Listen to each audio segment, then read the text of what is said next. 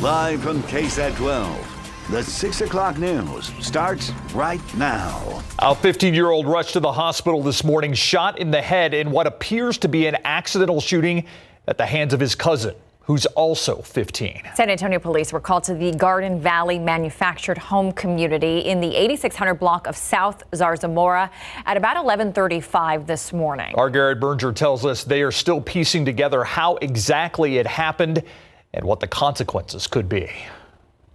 Two teens and a handgun, the makings of a tragedy. These are not cases we like to handle, but we do have to handle them and they do have to be investigated. It happened inside of a Southside mobile home. Police say the 15 year old suspect told them he was showing his cousin the gun when it accidentally went off. The details are still hazy as to how. But it sounds like, uh, from the little bit of information we do have, is that they may have been playing with it. The shooting happened in a home full of kids. There was uh, the two 15 year old males, a 16 year old male, and uh, three juvenile girls, one of them 11, one of them 7, and one, I believe, 5. A scary day for others in the park, too. They're 15 who who gives a 15 years old kid a gun? That's what I'm thinking about. Police don't know where the gun came from. Police are still investigating, so we don't know exactly what kind of charges anybody involved might face. So he'll be magistrated at the juvenile detention facility and then brought over to youth uh, youth services where he'll, he'll, be interviewed. There's the other charge, potential charge of, of how the firearm got into the hands of, of the minors. So uh, we'll be looking at that too. Though. Garrett Berger, KSAT 12 News. As of our last check with SAPD, the victim was still in critical condition at University Hospital. The new at 6 San Marcos police looking for some help identifying a suspect that they say ripped off a convenience store there Friday night. Happened a little before 7 at the Spirit Pit Stop in the 1200 block of I-35 South. According to investigators, the suspect wandered around the store waiting for everybody to leave. When they were all gone, police say he approached the counter as if he was going to buy something. Instead, he pulled a gun, demanded money from the register. The clerk handed it over. The guy took off. You can see he was covered up pretty good between the hoodie and the mask, but police say he has what appears to be a tattoo on his right hand and wrist. Not a lot to go on, but they're asking anyone who may be able to help identify this man to give them a call. Call the San Marcos Police Detectives at 512 753 2306. The Kerr County Sheriff's Office and the Texas Rangers investigating a deadly shooting after they say an argument between two men turned into a shootout. It happened yesterday afternoon in the 500 block of Honor Drive in the Horizon subdivision just southwest of Kerrville. According to deputies, the two men were arguing when both men pulled guns and then started shooting. 68 year old Mart Hanna was shot and killed. The other man, a 71 year old retired U.S. Customs officer, was not hurt. No charges have been filed as of yet. The sheriff's office says the results of the investigation will be handed over to a grand jury. Given San Antonio's title as Military City USA, it should come as no surprise that the Pfizer COVID 19 vaccine is already in the arms of members of the military here. The first shot administered yesterday at Joint Base San Antonio Lackland. Paul Venema with how the military is distributing the vaccine. Military leaders here explained that the first batches of the Pfizer vaccine arrived locally on Monday. Brooke Army Medical Center and the Air Force 59th Medical Wing were among the first 145 sites to receive shipments of the vaccine. Walter Reed in the National Capital Region and the San Antonio Military Health System uh, received the largest amount of the, uh, the, the DoD and Coast Guard sites. Distribution of the vaccine, stored at minus 80 degrees, will initially be administered to military emergency room and ICU staff and first responders. We're going to do everything possible to put shots in arms as quickly as possible. The first shot was given yesterday to Major Andrew Gospel, an Air Force doctor. While I was the first one in line, while I was the first one to get it, it wasn't for me it was for my patients. It was for the patients that I can now see, so I don't have to concern be concerned about spreading the disease. He described it much like the flu shot. He said, aside from a sore arm, he's had no side effects. At this point, it's unclear how many shipments of the vaccine will be arriving in San Antonio. We've been told to expect uh, approximately weekly reshipments. The 59th Medical Wing will serve as distribution hub, according to General DeGoes. Like the rest of America, we hope that this is the beginnings to kind of a return to some normalcy. Paul Venema, KSAT 12 News. Well, today, some local healthcare workers and support staff were also immunized against the coronavirus. It took place at the UT Health School of Nursing in the Medical Center between 1 and 5 this afternoon. It and just like she has told us she would, infectious disease expert Dr. Ruth Berggren did not hesitate when it was her turn to get the shot. Um, a lot of adrenaline. I'm very excited. I am proud um, that I get to be one of the first people. I am feeling very privileged and honored, and I hope that everybody sees that I'm smiling. I barely felt the needle. It was no different than getting a flu shot at all. Nothing different than getting a flu shot. So I hope everybody feels confident when it's their turn. And Dr. Berggren is planning on getting her second dose on January 5th. Every day over the next five days, 1,000 medical professionals and support staff will be receiving their first doses of the vaccines at UT Health. Vaccines for the general public are expected to be rolled out in the coming months. And we're expecting to do a live interview with Dr. Berggren on Thursday during the 6 o'clock news. All right, fact versus fiction. The nation has been waiting months for the COVID 19 vaccine, but now that it's here, Questions are flooding in about its safety, liability, and where everyone can eventually get vaccinated. Courtney Friedman checked in with a local hospital epidemiologist to answer all those questions. A brand new vaccine crafted in a brand new way will obviously come with questions and misconceptions. This COVID 19 vaccine does not and cannot cause COVID 19. So that's really important. That comes up with vaccines all the time, and it's important to recognize this does not contain live virus. It will not turn into COVID 19 infection. Dr. Jason Bowling is the lead hospital epidemiologist for University Health System, and he also works with UT Health San Antonio. He says it's a fact. Both leading COVID 19 vaccines, Pfizer and Moderna, require two separate doses, both equally important. And this first vaccine that's coming out, you get the first dose, and then 21 days or three weeks later, you get the second dose. And it's important you complete both of those to make sure you get the full protection of the vaccine. The approved Pfizer vaccine is already being used all over the country, including right here in San Antonio. The Moderna vaccine is set to be approved this week. Both have shown extremely high efficacy, but you cannot mix and match the vaccines. Very important that if you get the Pfizer vaccine to start off with, you finish with the Pfizer vaccine, and same with Moderna. Bowling confirms most of the population will likely have to wait until spring or summer of 2021 to get the vaccine, but by then he says there will be many approved administration sites healthcare facilities have to apply to receive the vaccine, to apply to be a vaccine administration site. And by doing that, they have to demonstrate that they have the, facilities to store the vaccine and that they have people that are appropriately trained to provide it. All approved sites will be required to report any and all side effects. Courtney Friedman, KSAT 12 News. This is not a story that's going away. In case KSAT will be closely tracking all angles of vaccine coverage over the coming months, just as we've done since basically April and March. It'll be the main focus of our Trust Index team as well, dispelling this and bringing you the facts. If you have any claims you'd like us to look into, you can submit them at ksat.com slash trust index. Meantime, let's give you a check of what it looks like out there on the roadways right now. You're looking at a TransGuide shot of I-35 and 410. This is located on the city's northeast side. As you can see, their traffic is moving, but a little bit of a delay out in that area. Meantime, HEB and the San Antonio Food Bank spreading some holiday hope at the AT&T Center today. We're talking about the annual Feast of Sharing event this year is especially hard for many San Antonio families due to the pandemic. To celebrate the holiday season, nearly 11,000 meals were handed out to families who are struggling to put food on the table.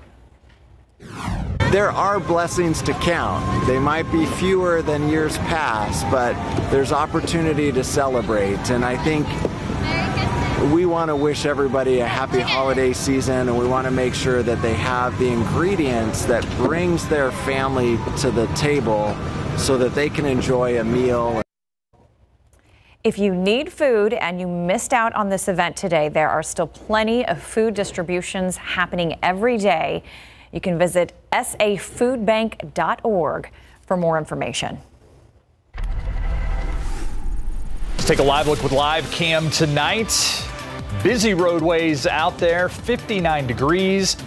This turned into a pretty nice day today. Good, yeah. It did. It was chilly this morning. We were down in the mid 30s here in San Antonio. We started the day at 34 degrees. Then we made it up to 65 with the sunshine. Things are changing rapidly out there. Right now, we have a cold front moving into town. The wind is going to be picking up. It's going to be a gusty evening. So if you have those lawn inflatables, secure them tightly again. We'll be in the 40s later this evening, but wind gusts will be up to 40 miles per hour. So right now, winds are steady at around 10 to 15 miles per hour. It's going to be increasing as we go through the evening hours.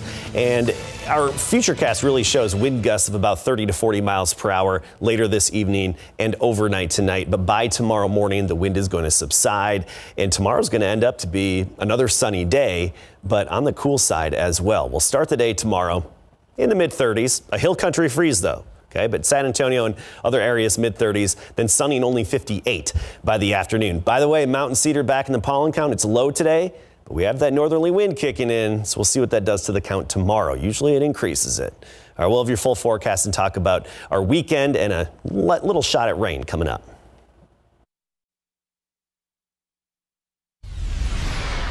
the Public Health Authority for San Antonio and Bexar County, and this is our COVID 19 update for the San Antonio community. While we had hoped that the post Thanksgiving case counts were starting to level off, but tonight we are reporting 1,359 new cases, which brings our total to 96,140, and our new seven day moving average is 943. We unfortunately also have six more deaths to report tonight, bringing the total to 1,435 since the pandemic began. Those are three Hispanic males in their 60s and 70s, two white females in their 70s, and one Hispanic female in her 60s. Please keep them in your thoughts and prayers. And remember that our families and our friends, our coworkers are the reason that we wear our masks to protect those we care about from getting the virus. So please continue to do your part. We have 800 patients in the hospital tonight, which is up 31 from yesterday. We also uh, saw a, a, pretty surprising and, and large number of admissions overnight, the largest we have ever had in this community for COVID 19 in a single day. 120 new COVID 19 admissions over the last 24 hours. For comparison, yesterday was also high, and there were only 89 in comparison to tonight. 270 people are in the ICU with COVID 19 and 134 on ventilators. The hospital numbers are up across the board, folks, and that's a concern for everyone. We're at a very precarious point right now, and we need everyone to be very diligent about the safety protocols. Not surprisingly, our school indicator uh, remains in the red zone as well. The risk level is calculated by looking at the 14 day decline, which unfortunately remains obviously in an upward trend. We also look at the positivity rate, which, as you heard yesterday, declined slightly to 12.5%, and the number of cases of per 100,000 people, which is at 50.9, continues to rise. So at this time, in-person learning is not recommended, with exceptions for small pods of six or six uh, students, uh, primarily those who are uh, special education at risk or students who lack resources for necessary virtual learning. Uh, so again, keep up your masks and the vigilance that we need to protect lives here in our community. Let me turn it over to Judge Wolff. Well, one day you feel like you're turning the corner, which was yesterday with a significant drop in the positive rate is, and uh, and then you you have a day like yesterday, and and we really are reaching a. Um, to me, this is the worst date that we've had, worst day that we've had since um, we've entered this uh, Thanksgiving and Christmas season. Um, with 800, 800 in the hospital. That's the first time we've been over 800 since this last summer. And as the mayor mentioned, um, 120 more patients coming into the hospital. Uh, so the indications are it's going to get worse uh, over the next uh, few days in the hospital. And that's why we talk about the hospital so much, because if you get overloaded in your hospital system, then you can't handle your COVID patients and you can't handle people that ought to be getting uh, operations. So we're going to have to really, really uh, push hard to try to uh, to uh, get people to, to, to, to be more responsible. But I'm afraid, even what we may be doing now, that what's happened post Thanksgiving is really coming home to haunt us now. Uh, we did do some, take some steps today at the Commissioner's Court to providing uh, some more relief for different groups. Uh, we funded another $2 million uh, for restaurants and bars and trying to help some of those bars uh, that simply were not able to get a food permit to keep going, also. That was sort of a target. And uh, up to date uh, for restaurants and bars, we've already uh, already spent four million six hundred and eighty six thousand dollars in helping one hundred and eighty businesses. But we know they're still struggling. We know it's very very difficult, and uh, so we wanted to provide some more support to them, make sure they got all the safeguards they have that they can have with people coming in to their to their restaurant or restaurant bar, whatever you may call it. We did put up another 1.5 million for um, rent support uh, today. Um, I think we've assisted now 1,059 households. Uh, we did allocate more money for the Center for Healthcare Services for mental health and substance abuse. Uh, as you know, this has been a traumatic period of time for people, and many of them have really had some significant mental health issues being confined in, in the way they are, and just the fact that they uh, have to deal with so many issues with their children and and with the uh, fear of, uh, of, of, getting COVID themselves. And we put up another million dollars for the community lab testing. Uh, we want to do everything we can to keep the schools as safe as we can. We were successful. We put up the two million, and and uh, community labs have been successful in doing testing uh, for students and staff. And this one here will be for the independent uh, San Antonio Independent School District. So brought some a little bit more help today, but um, yeah, we're just facing a very, very difficult time. Thank you, Judge. We are definitely still in the fight uh, with coronavirus and COVID 19 pandemic.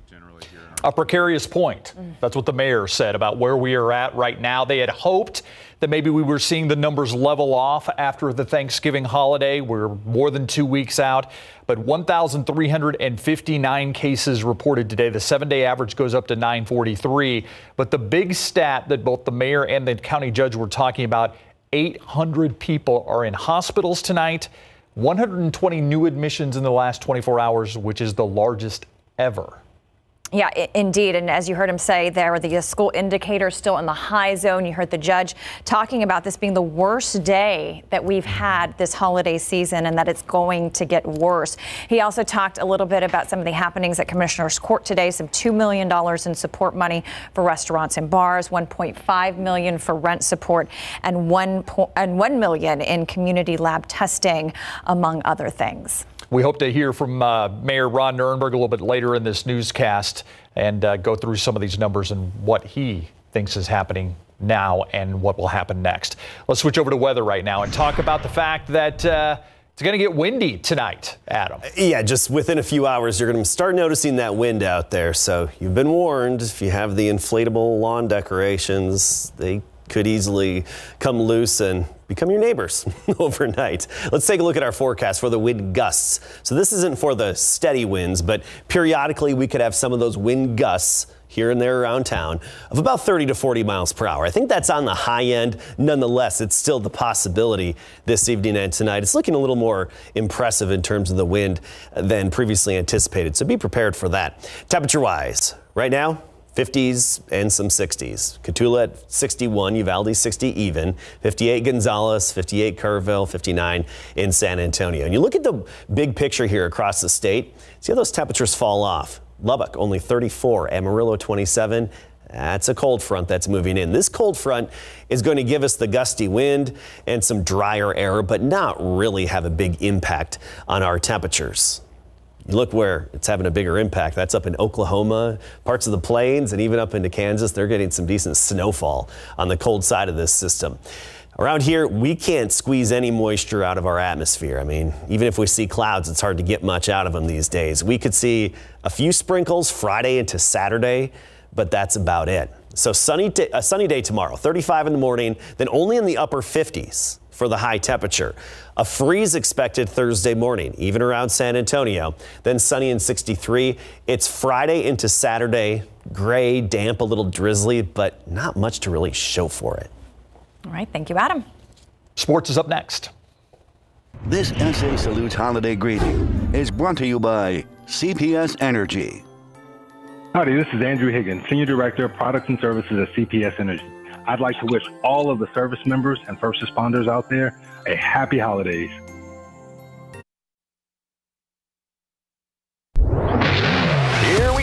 San Antonio Spurs wrap up their preseason with a pair of games in Houston starting tonight, ending on Thursday to get you ready for the regular season debut. One week from this Wednesday against the Grizzlies in Memphis. Now, one of the changes we have seen this season has come from LaMarcus Aldridge, who's adjusted his game since missing the NBA bubble due to surgery on his shoulder. He put up 10 three-point attempts in the Spurs preseason opening loss to OKC, 121 to 108. What does his veteran teammate DeMar DeRozan think of LMA's long-range change?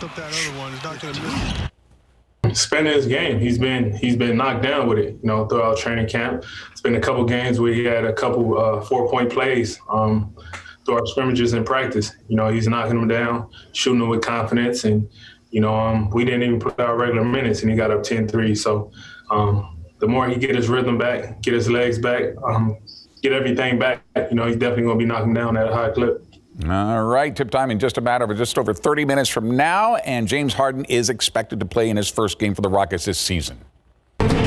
The UTSA Roadrunners have accepted a new bid to play in the SERVPRO First Responders Bowl in Dallas on December the 26th. That's after the Tropical Smoothie Cafe Frisco Bowl had to be called off after SMU had to back out due to COVID 19 protocols. As a result, Roadrunners are now get to play in a more prestigious bowl game, ironically held on the campus of SMU, that will be broadcast on national TV here on KSAT 12 the day after Christmas after finishing the regular season 7 and 4 under first year head coach Jeff Traylor. We're all excited again right? It's, it's, it's kind of like 2020. It's just been such an emotional roller coaster. Um, anytime you can play on ABC in that prime time spot against somebody, uh, we're not for sure. We're hearing Big 12. Um, that's pretty cool. We are still waiting to hear who the Roadrunners' opponent be, but one team that has been mentioned is Texas Tech. Fighting Texas Aggies put up a wrap on their regular season this Saturday when they face the Volunteers in Tennessee. That's after Ole Miss had to back out of their game against the Aggies last Saturday due to the coronavirus, robbing seniors of their final home game at Kyle Field. Still, the Aggies have been able to play eight games in this COVID-shortened season, winning seven and currently on a six-game win streak and ranked fifth in the nation, and now favored by almost two touchdowns against the Volunteers. And tack on the fact the Aggies could wind up in the college football playoffs should Northwestern knock off Ohio State in the Big Ten championship or Notre Dame beats Clemson. Head coach Jimbo Fisher is having none of that talk right now. What you do in, in postseason depends on what you do in season. In season is not over. We discuss that when we're done. We have to handle in season. We need to play well and prepare well, and then, then we'll handle our business and make decisions. All right, kickoff in Tennessee on Saturday is set for 11 a.m. The Smithson Valley Rangers have advanced into the second round of the Class 6A Division One playoffs following two impressive wins. Their 35-32 victory over Judson in the regular season, and then last week their 24-20 victory against Reagan in the first round of the playoffs. Both teams at that time were ranked number one in 12 top 12. Now they must go up against an undefeated Austin Westlake this Friday night in Pflugerville. I think it's very important since we've uh, won these last two games. It's uh, great to have a, a really great uh, momentum, and uh, it's going to be a really uh, a good fight against that team. We have a lot of momentum coming into this with these last two wins, uh, big games that we won against the former number one team in San Antonio, and just that we can compete with anybody. And kickoff at the field in Pflugerville this Friday night is set for 7:30. And all the Spurs announcers, by the way, are not in Houston tonight. TV and radio both are in the AT&T Center, and they're going to call the game off the giant jumbotron. Wow. There That'll be something to watch. Be different. Yeah. Thank you, Greg. We'll be right back.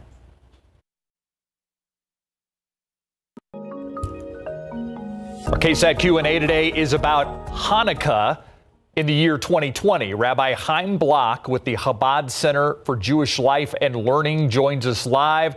Rabbi, it's always a pleasure to visit with you, and, and I want to talk about what happened on Sunday. The, per, the city's celebration of Hanukkah and its significance in 2020 for you and for so many people in our community. Uh, thank you. Um, uh, Sunday, we celebrated the 23rd annual Hanukkah on the River celebration. Of course, it's celebrating a 2,000 year old uh, uh, holiday and, and, and, and event. And um, what was so different this year is because of COVID, we did not have a live audience. We usually get over a thousand people to come down to the Arneson River Theater, and we were struggling to see how we can work it this year and and and not diminish the light and the joy for for families across our community. Uh, and um, and of course, this year we need the lights of of Hanukkah uh, even more than ever before, and their their message of of hope and perseverance and faith. And so we uh, decided to bring down all the parts of this of the of the celebration, the entertainer from New York, the lighting of the menorah, our mayor, other dignitaries, as we have every year, and live stream it to people's homes. And we were able to do so, and uh, it was um, a, a, very uplifting, joyous, and uh, and meaningful event on Sunday. You, you, just said something really beautiful that I, I, want you to talk a little bit more about. You said the lights of Hanukkah, we need them now more than ever before.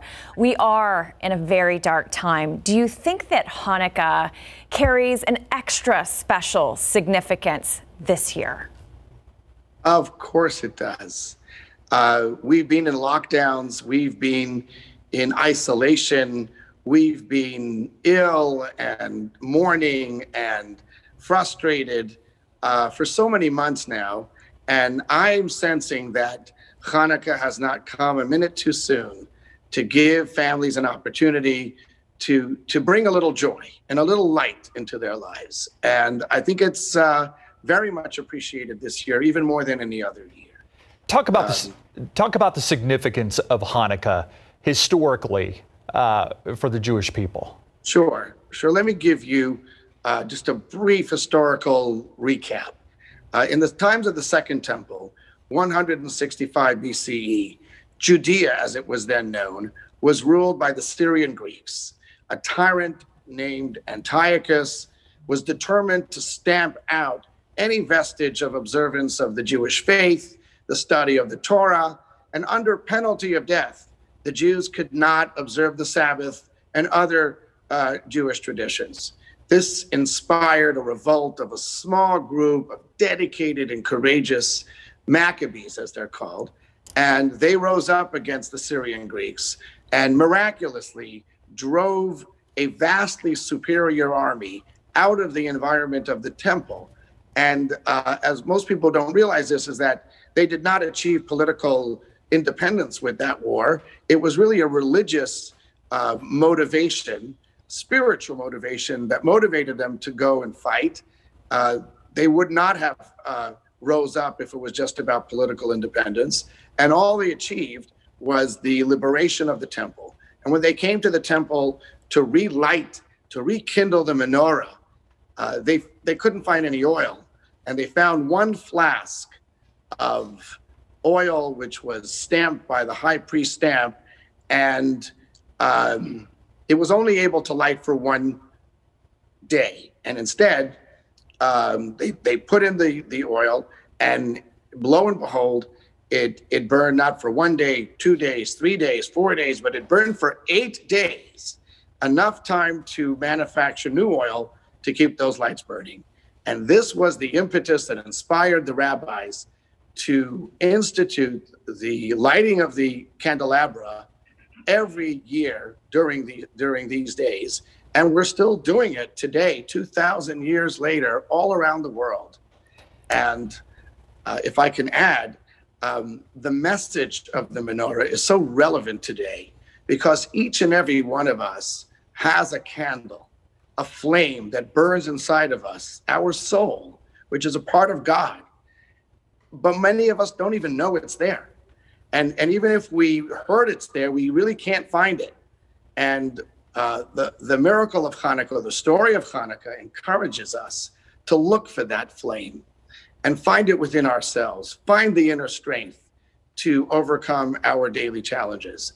And sometimes we find it and we don't think it's big enough, we don't think it's strong enough.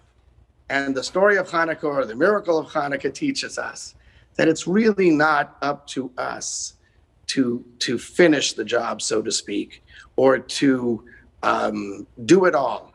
All God wants of us is to do our share. And if we light our little candle and we think it's only enough to burn for a short amount of time, well, that's what we need to do. And God will come and take care of the rest. And when we uh, give everything our all, um, that's what is is uh, is wanted of us, is demanded of us, and the rest is in God's hands. And so many times we succeed beyond our wildest expectations when we are determined and we are when we are um, uh, filled with encouragement and faith to to get the job done. Love that message. Yeah, By the way, the video that we were showing you is from last year's. We showed some river this year, but last year's in front of the Alamo, we showed uh, some of the lighting. So that's not what took place this year. It's what took place last year. Rabbi Block, we certainly appreciate your time. Happy Hanukkah to you and your family, and we appreciate you. Thank you so much for your time. All Thank the best, you. Rabbi. Thank you for giving Hanukkah some some airtime. I, I, I, find I found it very educational, so I appreciate your time as always. We'll be right back. Bye-bye.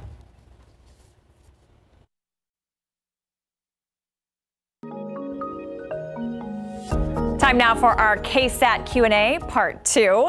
Uh, right now we are joined by San Antonio Mayor Ron Nirenberg. Thank you so much for joining us today. Mayor Nirenberg, I want to begin by talking a little bit about the rollout of this vaccine. We know that UT Health was the first to receive theirs. We saw some video earlier of members of the military receiving theirs. How is the city working to facilitate this rollout and, and what's next?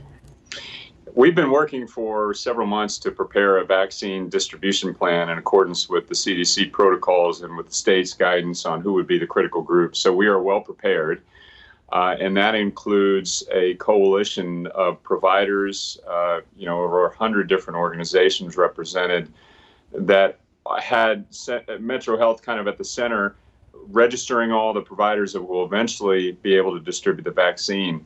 Uh, right now, we're working towards um, we're, we're working on receiving our first shipments this week. We expect about 25,000 of the vaccines to be shipped to San Antonio. Of course, we have a lot of uh, folks who are in the first tier group, which is frontline healthcare workers and those who are involved direct with direct COVID patient care. Uh, eventually, we'll start working our way down the tiers uh, to the general population. And that is all going to be a very well coordinated effort. Uh, but it, caution is advised. Again, we're all very grateful to see the first glimmer of hope in these vaccines being distributed, but it's going to be several months before you know healthy individuals, those who are part of the general population without any significant underlying health conditions, are going to be able to receive the vaccine. So we've got to continue uh, to maintain our vigilance. Mr. Mayor, you called it a precarious point today. You said 1,359, certainly not the numbers that you wanted to see. 944 the seven, or 943 the seven-day average. Is there anything that can be done from your perspective? I mean, can you we do another stay home, stay safe order or anything like that? Are you even looking at your options right now and what can be done to maybe you know try and and back off some of the things that San Antonians are doing right now? You know, in terms of uh, regulations and restrictions, we've had one arm tied around our back uh, since April uh, with the state order, and and it's uh, you know we we have found ways to um, include uh, safe regulations like the mask order that was put in place in June, but uh, it is very clear uh, that we we are restricted in terms of what we can do here on out in terms of new orders. However, what we can do is uh, very strict enforcement of the current orders from the local and state governments, uh, which we are doing. We've stepped that up, and we can also be very uh, clear with the public about what's going on out there. And, and I have maintained from the very start the best tool we have to fight this virus is public trust, making sure that people have direct information, the data and the information from our public health authorities about what actually is taking place. And right now, the information is not pretty. There's a lot of virus out there. It's transmitting very quickly.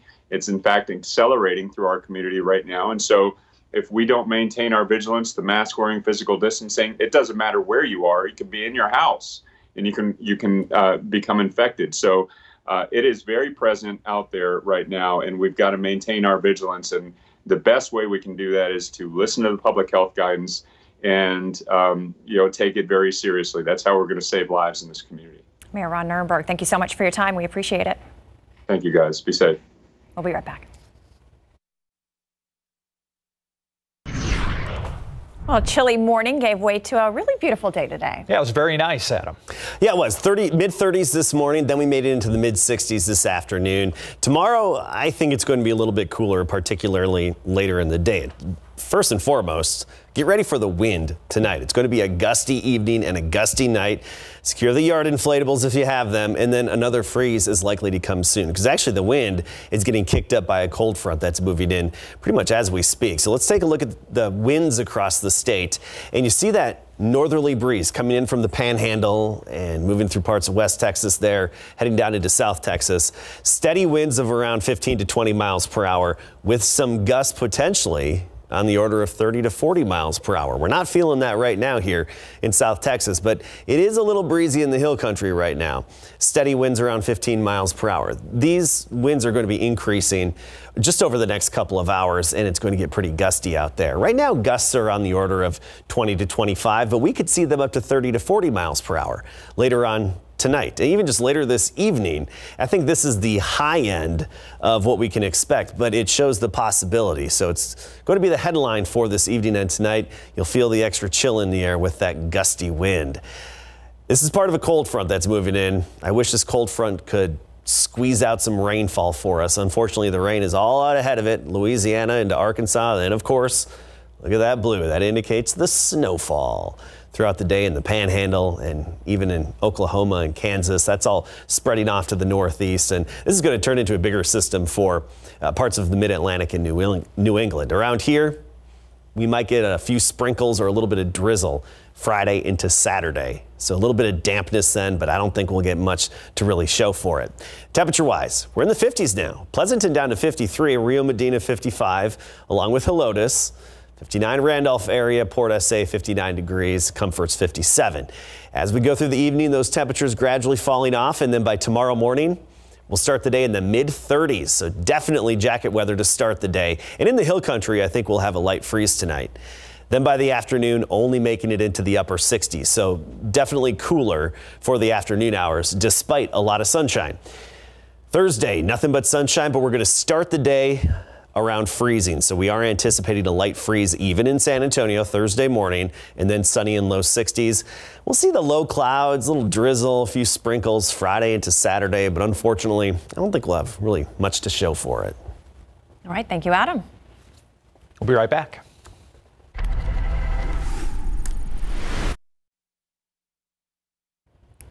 Here's today's in case you missed it. It is Tuesday, December 15th. Well, after some nine months of battling through this deadly pandemic, it seems an end may finally be on the horizon. Local healthcare workers and support staff among the first in Bexar County to be immunized against the coronavirus. Are you nervous? The first in line 65-year-old Dr. Adelita Cantu, associate professor at UT Health San Antonio School of Nursing, who was excited but remained humble. I'm just playing one role that everyone else is playing nationwide to be a part of the end of the pandemic. Police arrested a woman overnight after she allegedly stabbed another woman. The suspect has been identified as 29-year-old Amy Diana Ramos. Investigators say an argument between the two women escalated, leading to the victim being cut on her arm and stomach. The woman was taken to the hospital and is expected to be okay. The Electoral College has spoken, and Joe Biden is now officially president elect of the United States. During an address to the nation last night, Biden repeated his calls for unity while delivering his strongest rebuke yet of President Donald Trump. Dr. Ruth Berggren, our frequent COVID 19 medical consultant, setting an example for our community, becoming one of the first few in the community to receive the Pfizer COVID 19 vaccine. Dr. Berggren has told us over and over as the public watches her and other health professionals get the vaccine, she hopes it will help build the confidence everyone needs to roll up their sleeves and get one.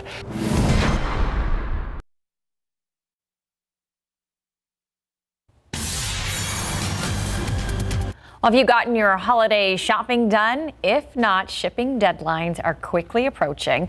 Today was the deadline for USPS retail ground service for the expected delivery by December 25th. It's also the last day to get FedEx home delivery and FedEx ground for USPS first class service for mail and packages. You need to get it in by Friday. Finally, Monday, the deadline for FedEx Express Saver and three day freight, as well as UPS three day select. We'll be getting a little gusty out there this evening, so anticipate the wind to be the headline tonight. Temperatures, though, gradually falling through the 40s, then settling in the mid 30s tomorrow morning. The exception, the hill country, where we'll, we'll see a light freeze. Then only sunny and upper 50s by tomorrow afternoon. A little drizzle Friday into Saturday. Thank you, Adam, and thanks for watching the 6 o'clock news. See you back here on the Night Beat at 10.